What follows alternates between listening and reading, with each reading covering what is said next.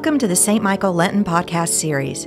My name is Mary Lessmann, and I'll be leading our meditation today. Our theme this Lent is Called to More. This Lent, find guidance and hope in the example of Christ as we are led toward the ultimate hope of the resurrection. The Lord is full of compassion and mercy. Come, let us adore him. A reading from the Gospel of Mark, chapter 10, verses 1 to 16. He left that place and went to the region of Judea and beyond the Jordan, and crowds again gathered around him, and as was his custom, he again taught them. Some Pharisees came, and to test him, they asked, Is it lawful for a man to divorce his wife? He answered them, What did Moses command you? They said Moses allowed a man to write a certificate of dismissal and to divorce her. But Jesus said to them, Because of your hardness of heart, he wrote this commandment for you. But from the beginning of creation, God has made them male and female. For this reason, a man shall leave his father and mother and be joined to his wife, and the two shall become one flesh. So they are no longer two, but one flesh. Therefore, what God has joined together, let no one separate.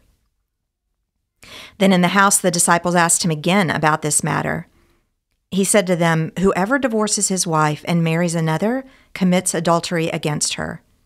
And if she divorces her husband and marries another, she commits adultery. People were bringing little children to him in order that he might touch them, and the disciples spoke sternly to them. But when Jesus saw this, he was indignant and said to them, Let the little children come to me. Do not stop them, for it is to such as these that the kingdom of God belongs. Truly I tell you, whoever does not receive the kingdom of God as a little child will never enter it. And he took them up in his arms, laid his hands on them, and blessed them. Here ends the reading.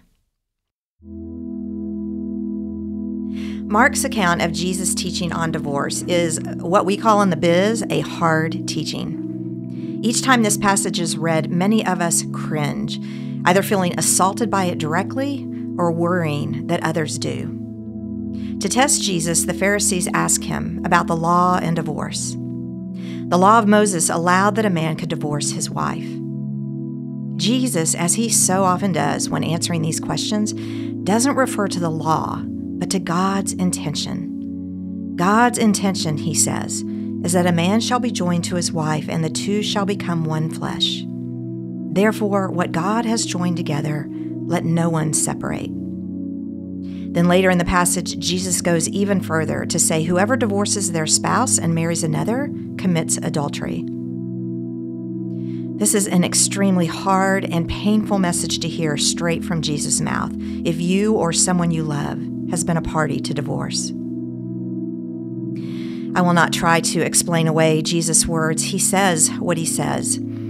I will point out that what is clear is that Jesus is looking to honor and protect relationship while showing mercy to the most vulnerable, which is consistent with all his teachings. In Jesus' time, women were extremely vulnerable when divorced. And while there was some debate about this, the common practice was that a man could divorce his wife for any reason. The main point Jesus is making here is not that divorce is always the wrong answer, it is that he is serious about marriage.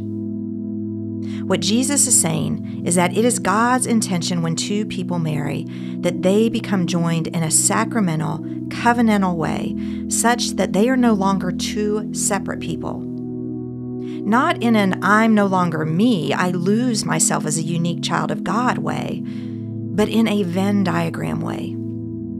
There's that which is me, there's that which is you, and we are joined in an overlapping, interconnected way that cannot simply be undone. This is especially true when you think of the effects of divorce on children, families, in laws, and friends. We are not being truthful if we don't admit that all of our relationships are affected by divorce. And so, whether we're talking about counseling or increased compromise or a willingness to be more present and engaged, our marriages are worth fighting for. In an environment where the commitment of marriage can be taken too lightly, where the desire to maintain an unfettered self limits our ability to submit ourselves to a spouse, where we have been told that we can free ourselves of the commitment of marriage when it no longer feels fun or a better offer comes along. It is good to be reminded of the seriousness of the covenantal sacrament of marriage. But the reality is that I don't know one person who was happy to get a divorce, for whom it did not cause great pain, great guilt, a questioning of oneself, and a feeling of failure. Nobody enters a marriage intending it will end in divorce. Sometimes the need to end a marriage appears clear abuse, addiction, adultery. Sometimes it is a slower, vague movement God's desire is that we flourish. Marriages where partners begin harming one another, disrespecting one another, where the pathology of the relationship spills over into relationships with other loved ones. This is an environment where flourishing is impossible. At this point, divorce is the funeral for a marriage that has already died. In a broken world, divorce is sometimes necessary. And the hope is that in repentance and healing, the two may move forward on new paths toward flourishing. This is a hard teaching for us to hear, but God respects us enough to hold up His ideal for our relationships, even as He knows that we will struggle and fail to live into this ideal.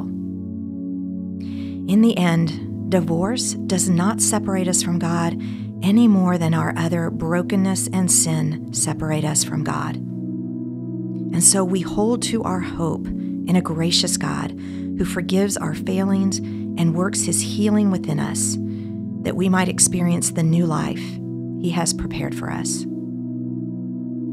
Amen.